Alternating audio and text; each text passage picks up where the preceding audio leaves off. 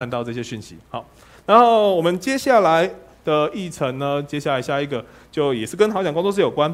我刚刚讲到说，好想工作室在做这一块，除了 co-working space 这一块的话，其实我们做 training 这一块是我们的核心，是我们的发动机。如果我们今天没有做 training 这一块的话，基本上好想工作室可能都还是空着，可能都还是空着。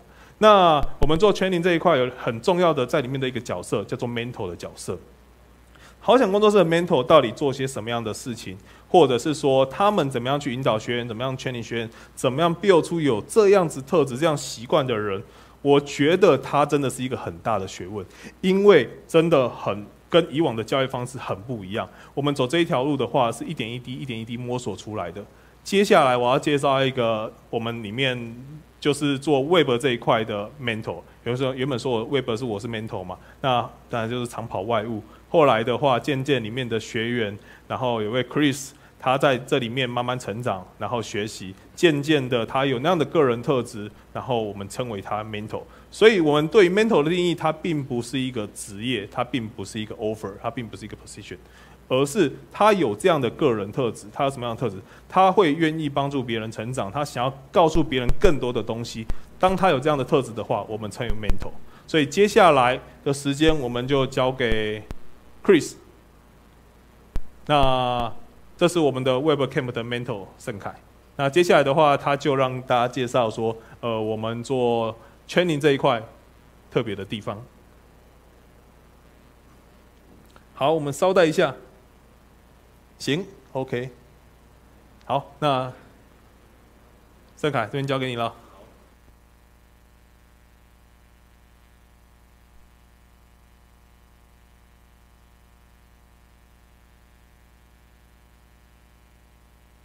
可以哈，好，好，大家好，我是 Chris。哦，想问一下，有没有谁？想要转职成工程师，举手吗？没有，好。目前有人是管理职嘛，就是主管啊之类的。OK，好。就就想问这个问题，是因为等一下分享的事情，就是我们在我自己在呃带那个 Webcam 的时候，我们有做一些呃，就是制度上的调整，这样。然后有做了一些，我觉得像知识管理的东西啊，然后会想说，如果你是管理者的话，也许有兴趣这样。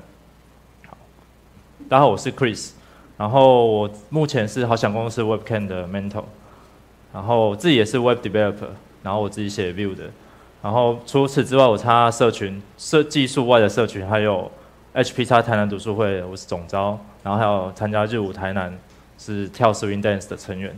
然后如果要找我的话，可以找我的部落格，就是可以直接 Google Chris 技术，然后就可以找到第一个就好了。好，然后我自己参加就是那个 Open Source Project 的部分是，我提交过 Hexo，就是 Hexo 是一个，诶，你可以写写完 Markdown，然后它会帮你编成静态网页，然后上传到 GitHub 上，然后就可以有。静态网页的部落格，然后我把 HackMD 的一个功能移植到 Pixel 上面，就是可以直接在上面写城市码区块还指定的行号的这个功能。然后我有在 Jest，就是单元测试框架上，在官网上提交了一篇关于 AngularJS 的教学，就是在 AngularJS 上怎么样优雅的使用 Jest。虽然它比较旧了，现在这个框架就没有人在用，但是。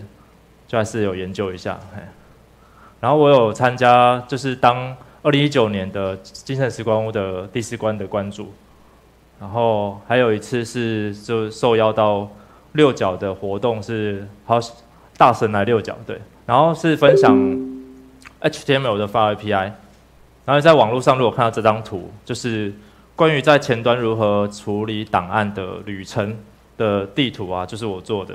对然后有一个很好、很很有趣的是，就我把这场讲完之后啊，然后有一个学员，他去公司工作，然后呢，他有一天有个同事就跟他说：“哎，我发现这张图好厉害哦，你看。”然后他就跟他分享这张图，然后他就看了看着，嗯，很厉害。然后他跑来跟我讲，我觉得很很有趣，这样世界很小。然后我们好想工作室有四个 camp，然后有前端，有 web，有 backend，然后 Android 跟 iOS，然后我是负责 web web 的部分，这样。然后我就是来好想工作室已经已经一段时间了，就是一开始来我也是学员，然后我是二零一五年，不是是二零一七年来的，二零一五年是第三梯，然后之后就没有再招一梯一梯招募了，所以。严格来说，我算是第三梯尾，就很后面的学员这样。然后也也忘了什么时候变 mentor，就是来当学员当一阵子之后，然后有一天，就是我很早来嘛，我都很早来。然后那一天，后我就拉一张椅子到桌子旁边坐下来说：“郑凯，从今天开始你就 mentor 了。”然后我就啊，对，那一天开始就是 mentor。但是当然很突然，还不知道 mentor 要做什么，我就问他说：“那 mentor 要做什么？”他就跟我说：“做你平常做的事就好了。”然后我就想，那我平常在做什么？对，我平常就是关心我们就是同梯的人啊，在学习什么啊。然后我不喜欢，就是我自己会觉得，因为我是来圈你的嘛，我想要用尽一切的力气把学习这件事做到极致。我不希望有有谁谁谁啊偷学什么我不知道的，然后变居然变得比我厉害，这样我自己不允许这件事发生。所以呢。我都会尽可能去知道同梯在学什么，然后说：“哎，你这个好厉害哦，出来分享一下，不然大家都不知道。”这样，所以呢，慢慢就会有固定分享的这个习惯。就是我们，比如说我们 Webcam 当时有六七个一起 training 嘛，然后大家都互相问问题啊，这样，或者是互相分享最近不错的文章，然后我就会发现：“哎，你分享这个文章不错哎，这样，或者是哎，你跟我讨论这个问题，这个问题非常有价值的这样。”然后呢，我们就每个礼拜排一个时间，来分享这个礼拜发生的问题，这样，然后就觉得，哎，下礼拜可以你来分享一下这个啊，很厉害这样，对，然后就变成每一周都有一个人会上台讲，讲说，哎，最近有什么厉害的问题啊，厉害的技术，或者是谁学了什么酷炫的东西可以分享，这样。好，那我就讲一下我们 Webcam 究竟做什么有趣的事情。那我们目标是为了产出好的工程师嘛？那么好的工程师就是一开始还不会，甚至你都不是，就是都没有碰过学写程式啊，对写程式真是一点都不在行。但是你想要变成工程师，那可以，那就会想来找 Training Camp 嘛。那你也希望在 Training Camp 之后会成为诶一个前端工程师，这样，这大概是一个这样的进程。那我会觉得想要产出好的工程师这件事。就是我们希望好的产出，就要有好的输入，这样对。就是当工程师就有一个概念是，不要输入无意义的东西，对。然后另外一个做法是，另外一个可以强化的地方是，我们 camp 的文化和团队强度这件事，也可以帮助产出好的工程师。好，那我们开始讲我们如何进化这件事情。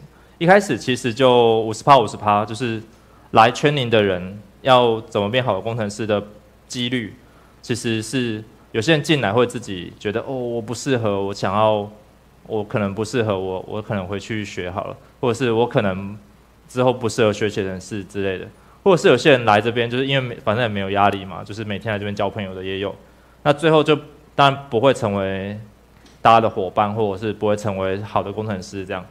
那么这件这是当时我接手的现况。就是其实圈宁的过程，哎还不错，这样也是有好的工程师产生，但是它的良率没有那么高，这样。好，那从源头开始啊，我想说，那我们从源头开始处理这件事好了。就是我们的面试，因为因为我进来说有一个第三梯嘛，然后隔了好几年还是在第三梯，就是那个那段时间，除了别的 camps 有在招生之外，其实 web camp 一直以来也，其实我们每一个 camp 都这样，就是。呃，一直都有这个面试方式，招生方式是依靠缘分招生。就今天有人来，比如说大家来参加活动，然后天天觉得，哎，Webcam 很有趣，哎，我想报名 Webcam 可以吗？这样，哎，就开始这个流程了，缘分招生。对，今天缘分有缘相聚，问一下你，也许明天就来圈你了。对，那就是在这问答过程中，我们会确定你有没有决心来圈你。嗯，然后对，只决定决决。只确定你有决心，这是缘分招生的好处，就是很快。但是缺点就是当我们遇到一个呃真正需要的人呢，就是啊，因为我们一直都要缘分招生的话，就是会有会一直招人进来嘛，就是门槛其实没有很高。那么真正遇到需要的人的话，其实就没有位置可以给他了，这是缺点。所以呢，我们开始我自己开始想说，那我要调整招生的方式，就是不要只是缘分招生了，也许有没有其他招生的管道。好，然后避免无意的输入，就刚刚讲的，就是在招募新学员的时候要注意这件事情。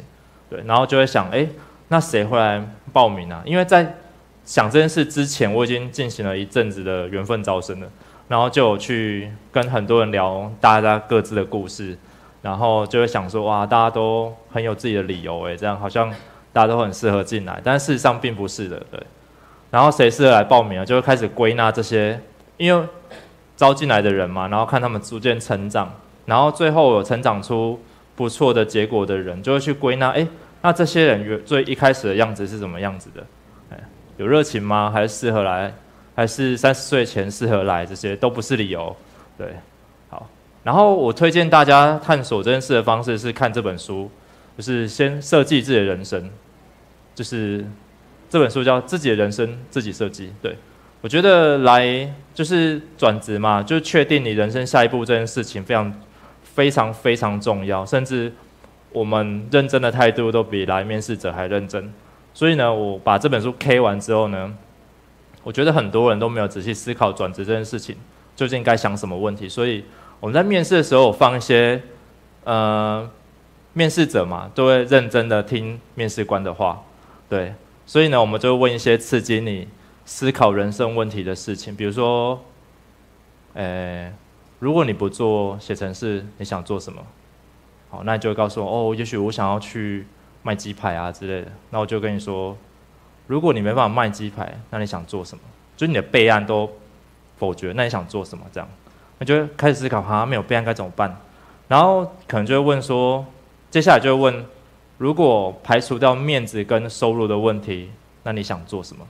这这本书告诉我的，就是你的人生要永远都有三个人生计划。对，那我们就会在面试的过程中问面试者，希望在这面试的过程中，除了我们想要找到我们想找的人之外，我们想要带给这些。在人生十字路口的人有一些收获回去，刺激你去思考这些问题，这样，就是这本书超棒的。然后他整本书的前半段就在讲这件事情，如何找到，呃，你适合走的下一步。对，然后我们就利用这个他书上讲的这个原理啊，这这这本书是一个设计师写的，然后他用的方法叫设计思考，设计思考是设计师用来寻找解决方案的方法。就是在面对未知问题的时候用的方法，这样就设计领域用的。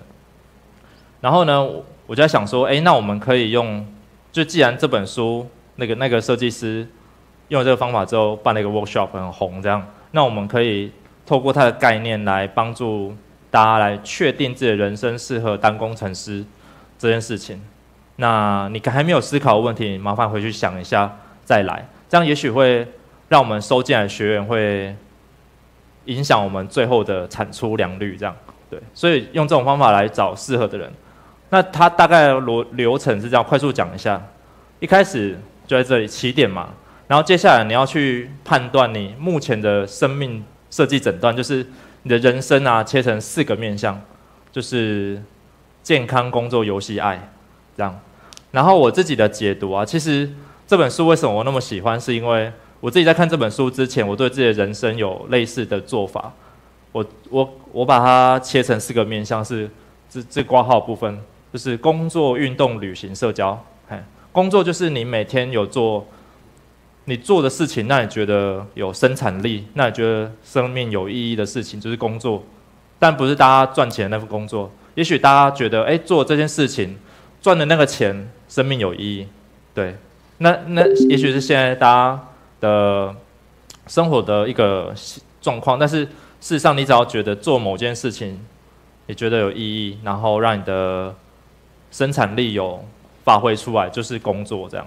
然后在旅行是可以释放你精神压力的一件事情的某一些事情，就是人嘛，难免在工作过程会有精神上压力的累积，无法无法释放。那么你只要做某件事情呢，比如说像旅行，就是一件，诶，你只要去很远的地方，然后带回那边的故事跟大家分享，或者是在那边泡个温泉，就觉得我的精神压力释放，因为其实转移注意力而已。所以其实这件事，你只要做一些有自己有兴趣的事，都算是这个游戏或旅行的部分。那那个运动的部分，就是解除你，哎，消消除你肉体上的压力。对，就是你只要做这件事情，比如说你去重训啊，像我们下午都会去拉单杠这样，其实拉单杠会全身用力，然后往上拉。那么短短的那几分钟，其实拉单杠很快就没力气了，非常有效率。那短短那几分钟就让人家觉得，哎，有出来走走啊，然后散步，然后撑撑一下，然后就觉得肉体上的压力有稍微解除一点。像我之前，我之前的运动是做，诶，练柔道，比较比较运动量很大这样。就是那个，就是一次就是上去邀邀对手嘛，然后上去练一下，大概就五分钟以内就很长了。对，大概一两分钟就躺在地上完全没力气了，这样五分钟的体力很好的。那那种运动量就很高，而且全身的运动。嗯，然后接下来社交就是呃，你要去看看别人的人生的其他三个部分。就是别人人生的工作、旅行、社，呃，工作、旅行跟运动是怎么做的？就是社交在做的。你要问，要跟别人问一下他的生活状况，这样，对，就是问他，哎，那你做都做什么运动啊？哎，做什么工作啊？这样，哦，好有趣哦之类的，对你就可以一窥别人的，就是生命诊断这样。好，接下来啊，诊断完之后，那诊断呢，你会有指数，一二三四五五格，你要稍微量化一下你的。二十四小时所占的趴数，这样，然后接下来是寻找人生的真北，就是你要开始调整嘛，就是你对现况不满足，所以你会想调整，比如说工作太多了，其他太少了，这样，对，好，这是一个，然后寻找人生真北是你要反思自己的人生观跟工作观，做什么事对你来说有正向的，比如说有些人对于做博弈业感到，嗯，罪恶感，有些人觉得不会有罪恶感，像我第一份工作我是做。电视机的，就是我们我在工工厂当 R&D，那我们是卖电视机的这样。可是我们卖的电视机是那种知名品牌的，我就觉得，哎，卖这种电视机这么贵，好像不是在就是帮助人类幸福，好像是满足人类物质欲望而已啊。一直卖，越卖越满足欲望，对。所以我自己觉得不需要买那么贵的电视机这样，然后我就会产生一个质疑，哎，我做工作究竟是不是正向的？大概这种感觉，就是在你人，在你内心有没有对你从事的事情有这种疑惑的？这就是你自己的人生观或工作观，要重新思考或比较需要再反思的事情。然后，如果你找到之后，就是你人生的真北，就是你需要往一个不管你做什么都觉得正向的方向去前进。对，这是你自己每个人都不一样的。好那接下来呢，就是要找出一条路的意思，就是你要写好时光日志。就是什么意思呢？就是你二十四小时之内啊，你做什么事情会让你觉得精神力提升？就是哦，做件事做这件事我进入心流，做这件事我觉得好充实哦，或者是做这件事就是让我灵魂耗损，这样就让我觉得人生没有意义。就比如说有一次我们。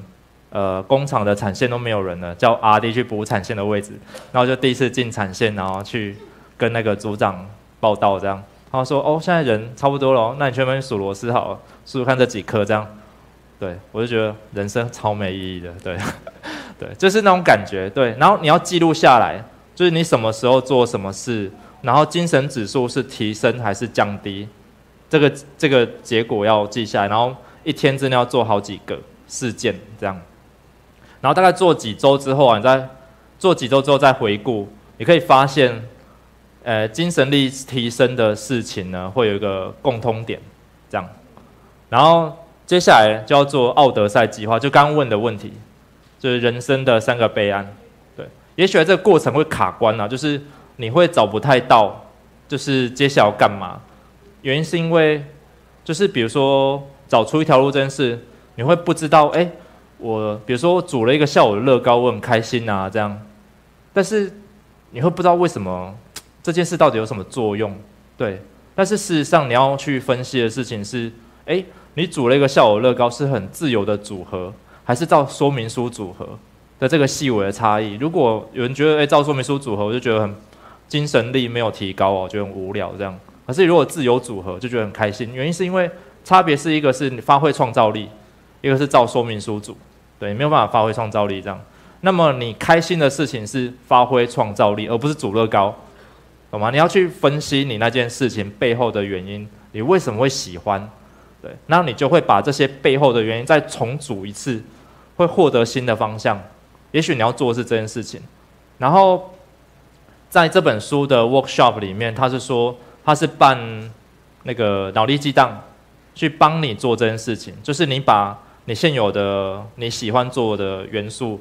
然后跟你你喜欢做的事情，然后再打散再重组成你可能会想要喜欢做的事情，这样。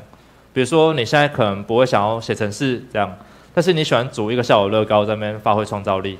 也许你适合当词曲创作人，也许你适合当作家，也许你适合当漫画家，就看你的这个元素还要再配合其他元素，说组成新的职业或创造新的职业之类的。然后最后打造原型真的是非常非常重要啊！就是你如何确定你未来适合做那件事情呢？也就是我们在面面试的时候会问学员，就是未来可能会成为学员的人，就是你真的适合写程式吗？这样对的这个过程要怎么问呢？就是问他有没有做打造原型这件事情。那这是什么意思？原型对话意思就是你可以找。已经成为工程师、软体工程师的人问：“哎，当软体工程师是不是都好赚啊？因为你有一些刻板印象嘛，你又还没有成为软体工程师，但你有些想法，比如说，哎，那个就可以问好啊，哎，自己当老板会不会很好赚啊？是不是都吃饭都不用看价目表之类的？对，那就可以问一下当老板的感觉是什么？如果我也想当老板的话，这就是生命访谈。你想要成为谁，你就会找那个职业或者是那个情境的人。”去问他他的感受，然后把你的疑惑跟他分享，他会帮你解决。对他来说就是分享自己的生活而已，所以这没什么。但是你就可以邀请他一个下午问他这样，对，你可以在这本书有一个 SOP 开场白啊，说哎，比如说哎，How 啊，听说你在做 Coworking Space，我对这件事很有兴趣。那我可以邀请你一个，就是我可以。我对你做的是非常呃有憧憬，对之类的，对。然后我我打算我可以邀请你一个下午，我们聊一下天嘛，这样，对，大概这个开场白这样。对那本书我教教你怎么邀请做生命对话这原型对话这件事情，嘿。然后就这样邀请到专业专家跟你对谈，然后就可以知道你的你对这个职业或这个方向是不是。有过多的幻想还是浪漫这样？另外一个是原型体验，原型体验就是你要真的去做这件事情，很难对不对？就是哎，我想变软体工程师，那我要先有一份工作经验，才变软，才有办法变软体工程师啊。但是我就没有经验嘛，可是我要先有工作，这鸡生蛋，蛋生鸡的问题。但其实不是这样的，就是你要先假装你就是，对，假装哎，假装我就是软体工程师。那你要想一下。软体工程师二十四小时要怎么过？会早睡早起吗？还是熬夜？就靠你的想象就好了。然后呢，你要做一些软体工程师可能会做的事情，比如说新手嘛，他没有写过程式，可能就会去买线上课程回来看。好，啊，那个学习的过程就很像软体工程师的工作过程，就是哎，你可能照着做啊，会遇到问题。没错，软体工程师在做 project 的时候，就算照业主的需求做，也是遇到问题。对跟你上上线上上线课程是很像的，只是那个难度不一样。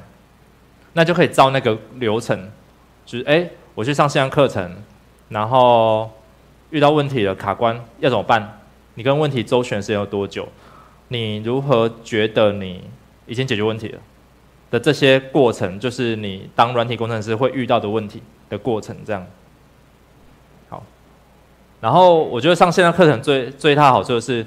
你叫老师讲，他就会讲；你叫他闭嘴，他就闭嘴，就停嘛，暂停这样。对，哎，停下来，我先练习一下，他就会停下来了。这样，就是在一个初步你还没办法，诶，确定你就要走这条路的时候，最好的做法就是取得初步的知识，然后做题目练习看看，然后观察自己面对压力的样子，然后探索一件事情，就是如何深入研究问题。对，这件事非常重要。就是有些人就觉得，嗯，哎，我找到某某部落格写的这样就好了，我找到答案了，这样。那下次遇到一样问题，哎，又有点不一样，他就觉得，哎，好像不太一样，哎，那上次的答案就没有用了。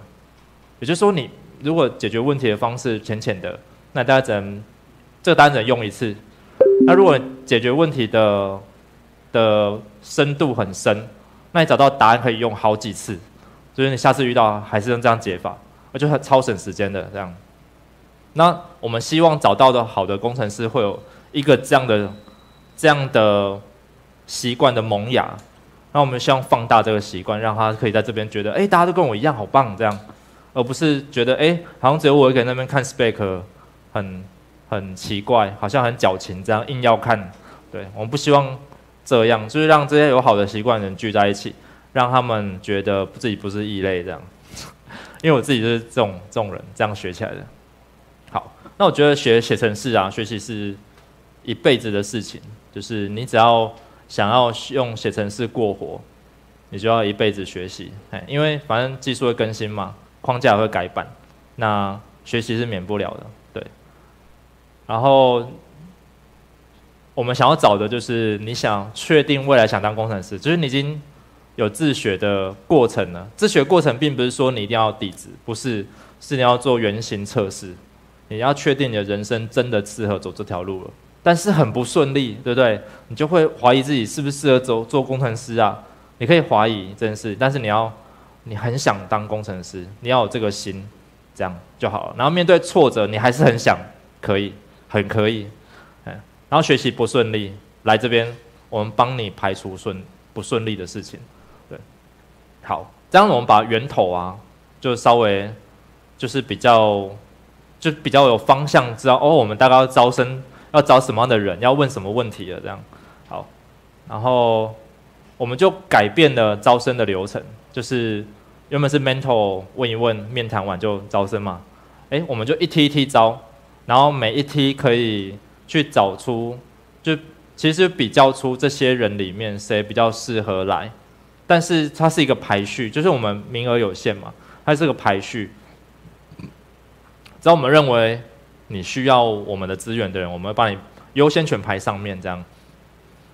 然后像那些呃呃，有些人就是听到免费来试试看的那些人，优先权就排上面一点。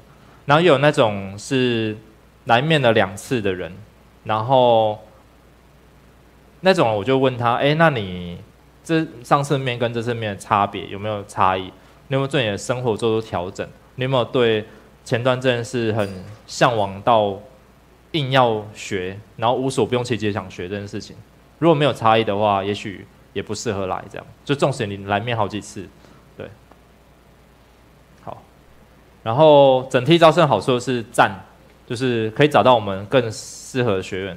但是缺点就是，其实你看，就刚刚都是 mental 在收招写招生文，mental 收信。然后 mental 面谈这样都 mental，就是其实我有工作啊，就是二十四小时而已啊。然后我也很忙，忙到可能要一边面试一边解 bug，对。然后可能也有看走眼的时候，就是哎怎么会招这种人？就大家问我，哎 Chris 你怎么找这样找他啊？这样都会偷偷你怎么找他啊？这样我就哎其实我也忘记了这样，对，就压力其实蛮大的这样。好，没关系，就是有另外一本书教了我另外一件事，就是。召集未来要和新人一起共事的人员，一起来面试。对，这什么意思呢？就是找学员跟你面试。对，好，这本书就是脑力密集管理，哎，就叫 PeopleWare 啦，它英文名字叫 PeopleWare。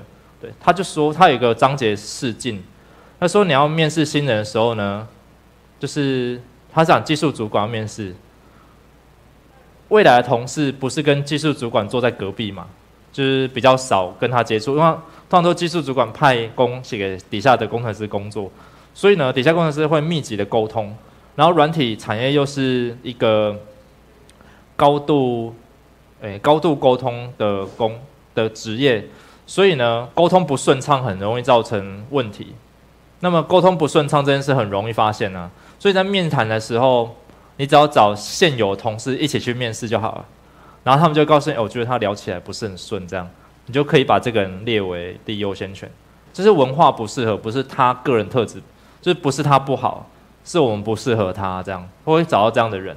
那也许这样的人到另外一个场域或另外一个选择的话，会很适合。哎啊，我们也可以，我们就利用这种方式来找。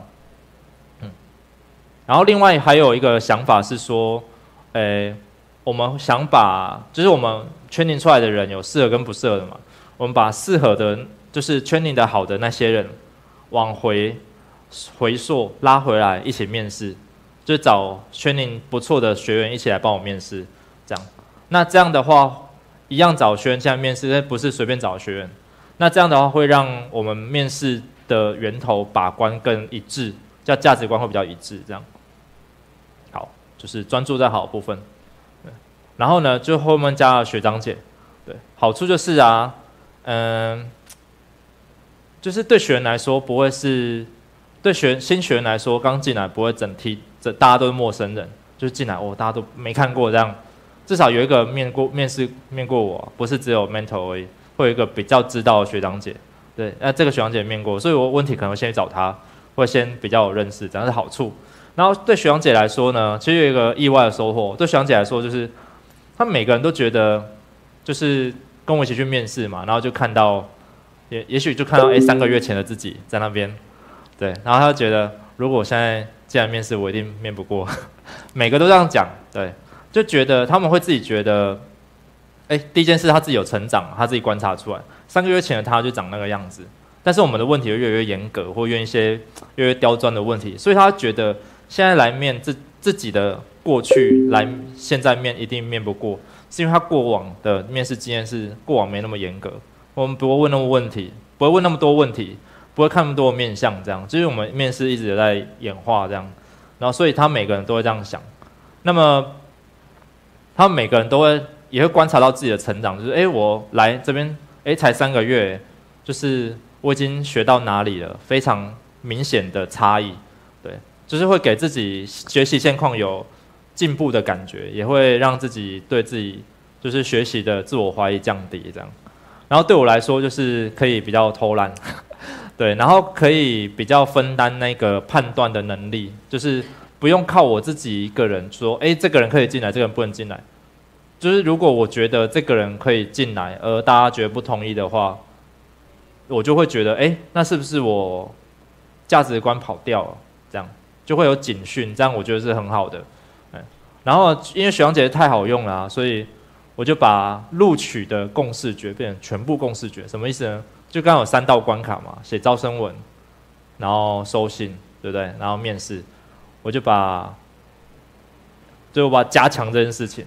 对然后就把这些关卡全部放学长姐进来，然后变成我们会有一个从头到尾的一个呃招生委员会的机制，就是 mentor 加学长姐一开始就讨论我们要找什么样的人，就是 persona 开始我们要找什么样的人，然后决定好了之后放在 email 上问的。那如果是发散式的问答，比如说你有没有喜欢的 YouTuber 这样。对那这些是在问说你向往的特质是什么？比如说，哎，我喜欢的 YouTuber 是谁谁谁，因为怎么样怎么样怎么样，就是他向往那个价值观嘛，对不对？我们想问的是这件事，他放 email 上就问不出来的，所以我们把这个问题留到面谈的时候问，这样。所以 persona 你问题之后分两段，然后接下来就是寄招，他们就会回信来，然后回信来是所有就是许阳姐跟我就是这次一起。招生委员会的人会一起收收信、看 email，然后一起回，然后一起看有没有错字，这样，然后送送出去就一起送，这样，就是大家会讨论完送信，对，然后会把 email 设定好，大家第一时间会收到 email，然后会针对这个人有没有兴趣，就是来来这样回信，这样，好，然后再是回信完了，然后面谈了，面谈会问那些问题完之后。会入围，就是哎，这个人不错，会入围，对，因为我们名，比如说名额只有三个，然后有六个不错的这样，然后就是六个就是入围，然后接下来我们就进入辩护会议，辩护会也蛮有趣，就是呃，因为不是每一个学长姐都会跟每一个学员准学员面谈嘛，就是每一个人都代表其中一个来面试的人，这样，然后因为不错嘛，因为学长姐觉得他不错，所以会帮他入围。然后最后呢，如果比如说有三个人，三个名额，然后六个人，然后就有第三名、第四名要辩护，因为第三名、第四名很接近，然后就会想说，哎，第三名、第四名先拉出来，就是辩护一下，看他们的顺序是不是可以对调。这样，如果他们顺序不能对调，后面就不用谈了。对，那么就会由各自。面试过学长姐跳出来说：“诶，因为我觉得他优点是什么什么什么，所以我觉得他可以进来。”然后另外一个就会觉得：“诶，因为我觉得优点优点是什么，所以可以进来。”然后两个产生对立，这样，然后就大家投票，然后觉得：“诶，谁说的的确是比较适合我们的圈领？”这样，对，就会有这种辩护会议。然后最后会讨论出录取名单之后，就发信，然后发信我们会希望学员自己决定来的第一天。原因是因为你是人生的转职这个过程，那么通常都是在职场上很不顺利啊，然后通常就是，嗯，觉得这段时间很，就是没有什么人生选择权这样，然后我们是觉得透过我们这边圈领完的结果，可以夺回你人生部分的选择权，所以我们会希望你来圈领的第一天是由你自己决定的。哎就从这件事开始，你就可以自己决定你自己的人生，从什么时候开始圈你。那么，所以不管是之之后的，不管哪个新生，我们都这样决，希望他自己，哎，你什么时候来，你自己决定，来的时候再跟我讲这样。然后，所以我们新生来的时候是非同步的，就是每个不会一起来，所以不会有什么一起来的活动啊之类的。所以我们会个别的填填写须知，还有个别的告诉你要注意的事项这样。然后环境的导览这些都个别的，好，然后对对学姐来说呢，会觉得加入 camp 的决策会更多，会比较有认同感。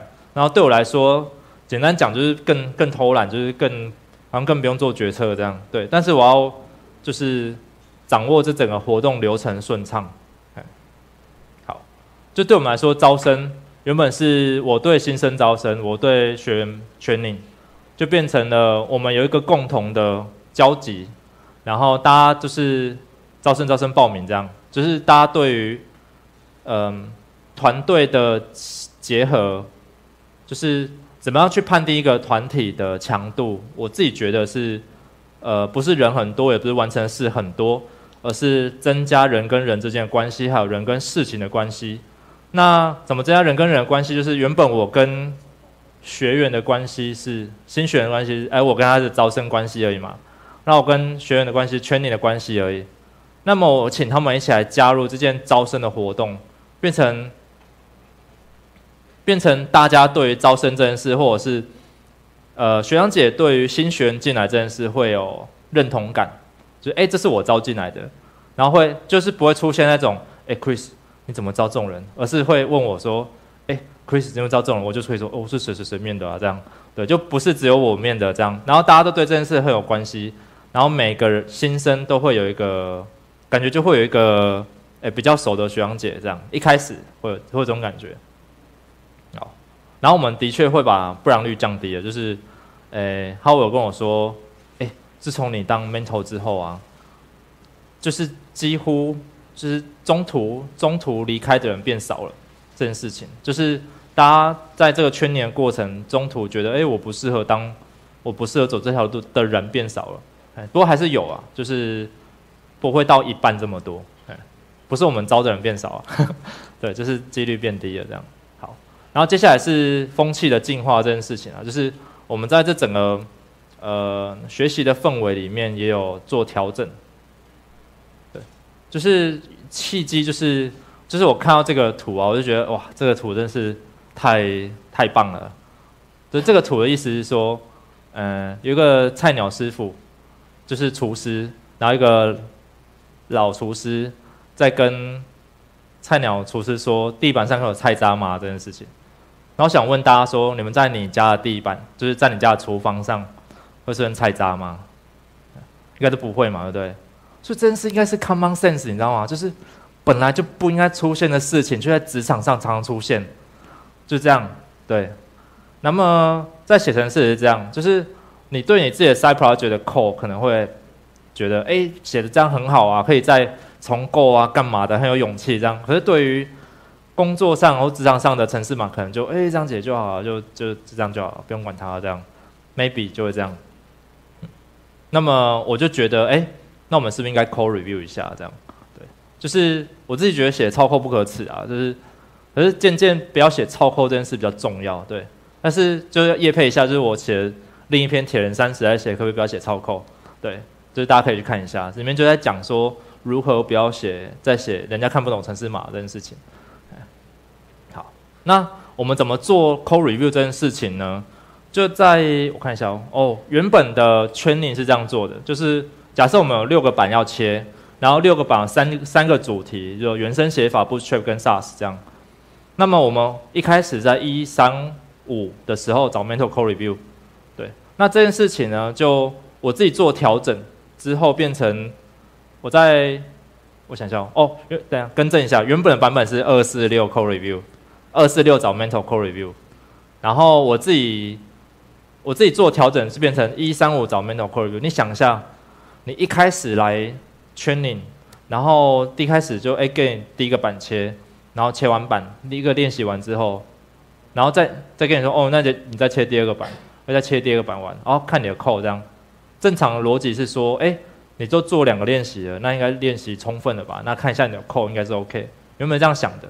那事实上我在我如果去工业设计系参加，就是上过他们课，然后他们有实习课在做拼，他们拼图这件事情，那他们一样是一个题目做两周，第一周老师给的题目就是很发散这样，哦五十。三十人三十公分以上快题，就是这样而已。然后你就要自己想办法发挥创意，把题目做出来。然后呢，老师就会说：“哦，这个题目究竟在做什么？”就第一周大家交作业，老师就会说：“这题目究竟在做什么？这题目啊，就是要干嘛干嘛干嘛。”那谁谁谁做的好不错，谁谁做的好，这样。哎，然后每一个同学都会讲他做了什么，然后历经了什么辛苦的过程。那你就会听你有兴趣的作品的同学，他究竟做了什么。他就来找材料，他怎么应付这些材料？这样好，就跟这个一样。你在一三五的时候找 mental code review 的用意是，你在第一次做完的这个过程，你有了挫折，你有了迷惘，然后再告诉你我们我觉得好的经验跟这题目究竟要做什么。你有了这个经验之后，你应该再练习一次，让别人的经验成为你的经验，而不是跟你讲完之后你去做别的题目了。哎这样会把你自己记得的事就再强化一次，然后把别人的经验成为你练习的元素，然后刚好又又有练习的机会，所以你在第一个版切完找 mental code review 完之后，你就可以再写一次，然后你第二个写第二个版的做的就比第一个版好很多，哎，就会有这个落差。好，然后就会是哎 mental，就是就学员会说哦，我想 c o r e review 这样，对，然后我看看，对。然后变很多学员的时候怎么办？对，就很很麻烦啊！哎，大家都找我，然后问题又开始重复了，然后我开始觉得啊，这个问题怎么刚讲过，现在还要讲这样，就觉得开始工程师都不喜欢做重复的事嘛，就要解决这个问题了。那怎么办呢？就想办法。哦，对，还是找学长姐，学长姐好用。对，那么就会成为这样，就是一三五找学长姐玩，再找我。那这些基本的问题啊，重复出现的状况，就会由学长姐来过滤掉。那他们真正不会的问题就会跑出来。那这个问题多半都是一些稀有问题，或者是 spec 不写的问题，比如说无定义的问题这样。不过无定义的问题也越来越少啊，spec 越就是后面越写越严密了这样。然后二四六啊，要任选一位，就是随便看你要找几个都可以这样。那重复的问题就不会在我身上重复的再出现。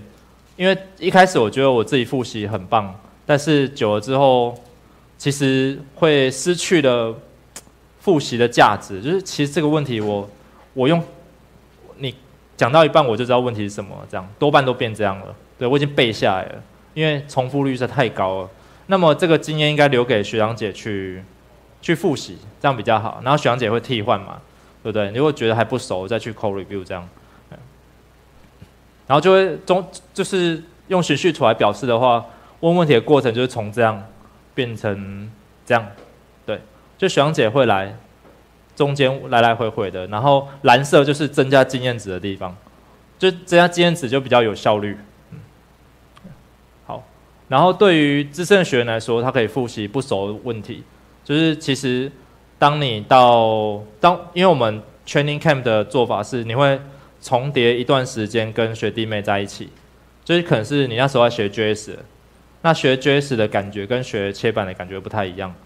那么你在学 JS 的时候，会有学切板的学员来问你问题，那你就可以借由这个计划复习切板的问题，你也不用自己再去主动复习切板。那这这个交互的过程，我觉得是蛮好的。然后对我来说，就是可以跟学员一起学到新的问新的问题，就是，哎，学员他们自己来问的问题，其实他们如果问我的话，我也会嘛，对不对？那他们自己学，他们也会了。但是他们真正解不出来问题，对我来说就是新的问题了。那么我也会在这个过程中学到新的东西，这样不会再是重复的问题了。对我来说，这个 camp 会带给我新的知识。嗯，对。然后从讨论问题啊，然后 review 学员的状态，变成大家一起做这件事情，哎，会有学长姐参与这个 code review 过程。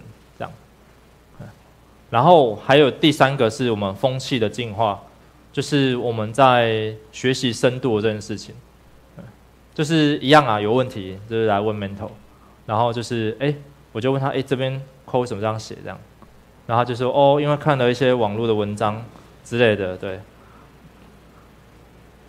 然后我就哎我就问他哎看了部落格你就相信了，对吧？就是这个问题就跟你去我就举。是讲说，哎，这个问题就跟你去庙里喝符水没什么两样啊之类的。对我指的不是，不是说喝符水不好之类的，只是你要没有根据的事情，你要你要找出根据的意思是这样。对，然后他就是，我就问他，你这样知道问题的真相吗？这样，就是不要只是看到部落格而已，部落格只是在友善的告诉你这个知识的一个概念，但事实上你要去看官网文件或 spec。那他才告诉你完整的东西，那这个答案才可以让你用好几次，未来遇到一样的问题，才不会说变一下又不一样。好，那真相，对学员就会什么真相？这布洛克不就是真相了吗？对，就是会让他们在接受合理的答案之后，会习惯再继续往下怀疑，要要有这个习惯，就是人的大脑在接受合理的答案的时候会停止思考。那么要习惯让要让他们养成习惯是，当你接受到合理的答案的时候，你要再继续怀疑这个合理的答案，一直到这个答案被值得再怀疑、再验证，然后验证再验证一次是 OK 的，这样，所以真相这样想，就是大家都有看过《海贼王》吗？了解消失的一百年要怎么了解？对，很难。对，首先要有人知道，对这个东西存在。对不对？当大家都不看 spec 的时候，要有人看 spec，对，要有人知道这件事情，然后要相信这个东西存在，并且找得到，所以这种信仰，因为还没有人找过，还没有这种很多人在找，对，但是这种信仰，你相信找到你就去找，好，那接下来就是寻找寻寻找的方法，哎，就哎怎么样看这个东西呀？这样。就在海贼王大家都看不。看不了历史本文，但是你就找到那些看得懂的人念给你听，也可以。对，就是反正你就要至少有方法可以获得真相，这样就可以了。对，所以要读懂这个要看漫画，不是啊？不对不对，要读懂 spec，要慢慢读，习惯它这样。对，所以，哦对，这个这个起源是起源于，就是二零一七年，就是二零一七年我还圈你嘛，那一年年底。我是做了一件事，我我已经学了一年的 CSS 了，然后对 CSS 有概念的，但是我就遇到几个，就是遇到业界老师，然后我就问他问题，我自己觉得嗯自己应该很很不错这样，就约他问他说，嗯你这个问题应该是搞不懂 i n l i 跟 block 之间的关系这样，就是一个很基本的观念，我就深受打击啊，然后我就这一次我就做了挑战，就是我在年底的时候看 spec，然后去分享我熟悉的观念。然后试试看这些熟悉的观念，我再找 spec 会找到什么东西，就找了三十天这样，对，然后这三十天大概是这样，然后发现其实真是其实一点都不难呢，就是一个小美感而已，哎，然后去看 W 三 org，就发现哇，居然写了很多很多很多很多东西，就是部落格都很少提到的，甚至有一些比较不好的归纳方式，在在 spec 上是完全不同的观点来来介绍这个知识的脉络，这样，然后想办法学员养成习惯，然后下面就会出现一些很很少遇到的关键字，比如说什么 BFC，或者是学一阵才知道哦什么是 BFC 之类的，对，然后周旋问题的时间变久了，然后学习的深度也会加深，就是不要那么轻易的放过这个问题，这样，哎，就比如说我们遇到一些呃手机的 Chrome 才出现问题，然后 Safari 没出现问题，我们就一直 Google 一直 Google，一直 Google 到 Chrome 的 Issue Checker，然后他就写这个版本会有这个问题，这样，我们就啊这是 Issue，才确定这只有这个浏览器的问题，那赶快更新它之类的，才确定跟使用者说，嗯，只要更新就好了，哎，就是跟问题周旋久一点，要确定问题到底是什么。哦对，然后最后就出现这个问题啊，就是啊有时候 mentor 不会讲对啊，这样，对，就是他们问我问题的时候，我跟他要凭印象跟他们讲哦，可能是这样哦，这样。然后他们就去找 spec 回来，就跟我说：“哎，不是这样哎，哦，这样哦，哦，学到新的，对，就是我们养成这个习惯之后呢，没有人是绝对的，但是也正是因为没有人是绝对的这件事情，让大家会对既有习惯的东西产生怀疑，然后再去验证它，然后验证的这件事情，让我们的在 camp 里的知识去无存精，让虚假东西变少，让真实的东西变多，这样，嗯。”然后就养成一个这样的文化，然后让大家的学习就会比较扎实一点。就是这件事不会让你觉得辛苦，因为它是文化造成的。那这个习惯会造成你学习的的深度变高，然后习惯变好，这样。嗯，然后就会就会出现这种感觉，就是哎，学长姐在面对学员的问题的时候，会哎查一下 spec 这样，然后就蓝色箭头就是哎对的知识就开始出现了这样。嗯，对，好然后就是慢慢的让我觉得，哎，这个 camp 好像离我越来越远，好像越来越不需要我这样。然后可是他们又会自己成长，就是很神奇的事情。我只要负责把人丢进去，然后他就会自己长大，这样就会形成一个很像知识管理的东西啊。然后这个我稍微画一下，就是右下角那个是知识管理会用的五个行为嘛。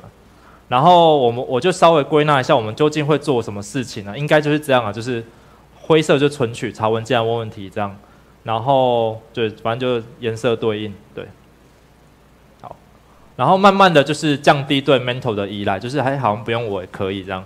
那事实上我我有问过 How 这个问题，他就说带 camp 啊，就像骑脚踏车一样，就是你骑骑骑骑骑到速度很快的时候啊，其实你踩踏板会变得松松的，对不对？你也没办法再加速，因为齿比就是这样，好吧？那那个时候你就你就滑行的，它就会。一直保持那个速度，一直滑行，然后等到速度稍微降下来的时候，你再踩它一下就可以了。对，现在目前 Camp 是维持在这个状态，就是它已经高速前进了。那我只要在它踏板就是还可以踏的时候，再再再踏一下，数字就一样。然后在方向稍微再掌控好就好了，就不用一直一直一直努力踩了这样。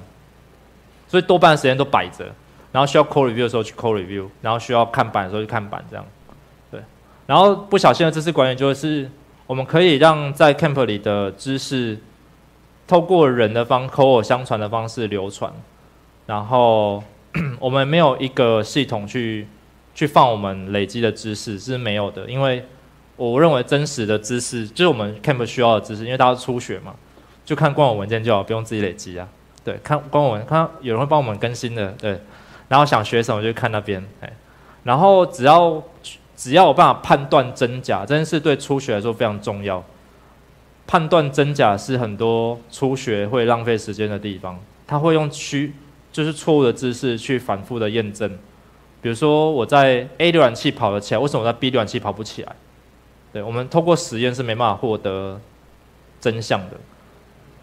然后我们透过网络上搜寻没办法获得真相，就是大部分的知识都可能是部落格介绍，它会有旧版的问题。它可能会不小心写错，因为初学可能就写部落格嘛，就不小心写错这样。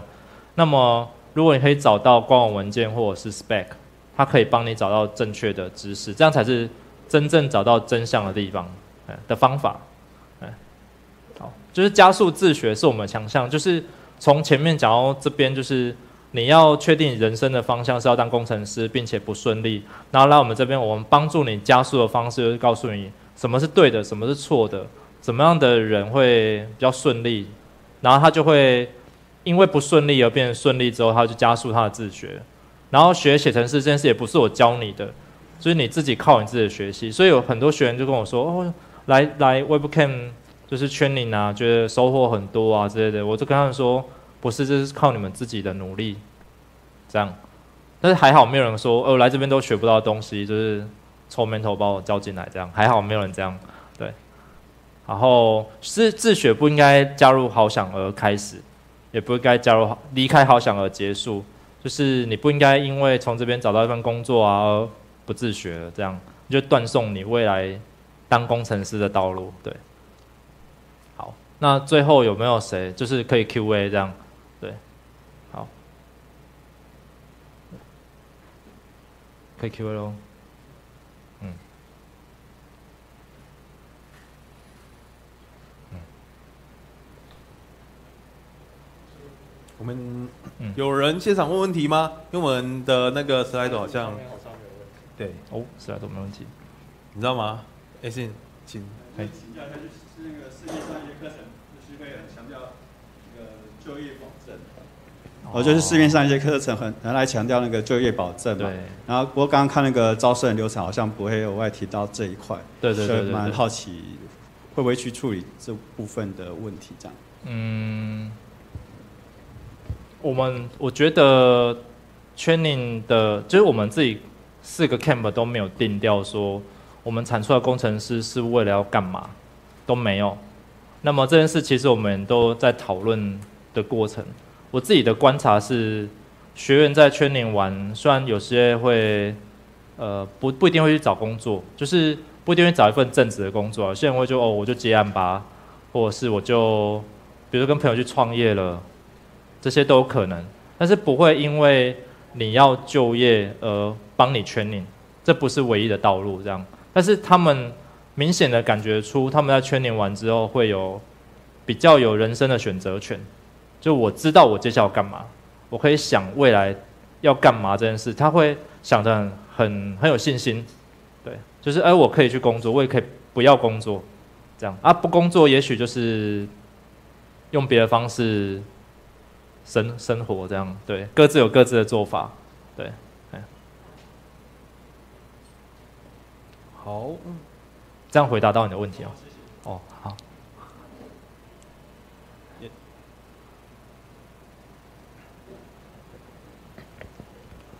你好，请问就是在呃花时间撰写 spec，就是文件，跟花时间交流。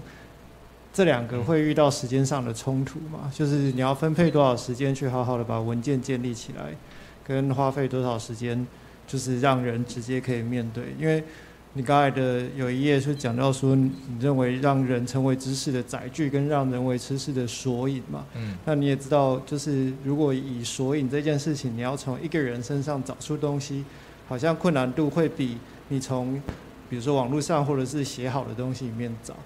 哦。那所以变成说，呃，我可以我想象的是，你会重视这两个，是因为人成为知识的载具跟索引的时候，比较容易促成这样的一个社群的交流跟互动，可以快速的培养新的人起来。对。但是同时，spec 又很重要，或者是所谓的技术文件也很重要，才能够去累积更多的一些事情。对。但这两个的时间分配上面，在整个团队的运作上面会产生冲突吗？或者是有没有什么样类似的经验？嗯。我讲一下我的想法好了，就是人去读 spec 这件事，其实是有，就是有困难，一一开始有困难度，就是我不知道 spec 的呃重点分配在哪里，对，然后人称为知识的索引这件事是，哎，也许我不知道怎么查，我可以问人，他告诉我他的方法，那我就可以找到 spec，也许我看不懂 spec，我可以问人。然后他帮我导读一下，然后我知道哦，大概怎么看比较好入门，这样。也许我对比如说 Vue X 这个东西，就是某个技术比较不熟，这样。那可以问一下有学过的人，他就告诉我，哦，这个东西大概是什么样的概念？这谁跟谁要一起，谁跟谁不应该在一起？这些小细节，他可以提醒我。那他就是知识的索引了。那么我再自己去看 spec 会比较顺利，这样。我我的初衷是这样的想法，嘿，对，那啊你那你继续问好了。所以这这有回答我一部分的问题，然后但我猜想，时间分配嘛。对对对，就是因为撰写文件，就大家知道，尤其是在小团队的时候，你要花时间撰写文件跟花时间做事两个是会冲突。哦。这个两，这两个之间就是花时间撰写文件跟花时间做事之间有没有，就是你们有没有相关的冲突上面的经验，或者是时间分配上面的想法？哦，花时间撰写文件，这就我们来说，花时间撰写文件是，我会建议每个学员各自进各自的部落格，而这件事其实不是强制的，但是我们，就老实说也没有强制大家去撰写什么文件。那大家会读的，就是我建议他们去读 spec 而已。那那个东西会有，就各 spec 的官网会自己维护，所以我们不用自己维护这件事情。对，所以我们应该是没有遇到这方面的问题的。就是你你要问的，应该就是工程师在写程式的过程中，写文件跟 coding 的过程，讨论问题的时间分配嘛？对，我们应该是不会，好像没遇到这个问题这样。